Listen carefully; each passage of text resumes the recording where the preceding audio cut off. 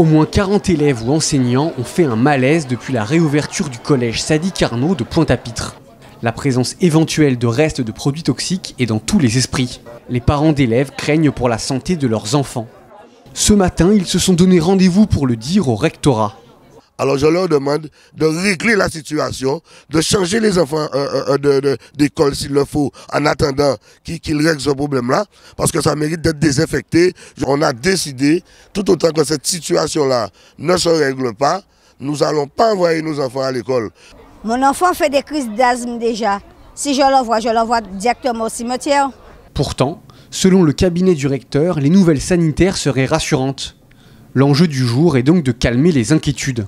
Je crois que c'est surtout cela qui a circulé, c'est-à-dire ce sentiment que comme il n'avait pas forcément les réponses aux questions qui se posaient et que derrière il y avait du non-dit et donc forcément des suspicions d'un danger grave. Moi, je veux vraiment euh, profiter de l'antenne pour rassurer euh, les personnels, les parents. Il n'y a pas de danger grave dans le produit qui a été utilisé. Mais les trois heures de réunion avec le rectorat n'auront pas suffi à calmer les craintes des parents. Ils se réuniront en assemblée générale dès demain matin à 7h devant le collège. Ils sont nombreux à évoquer un blocage de l'établissement. Vous regardez ETV.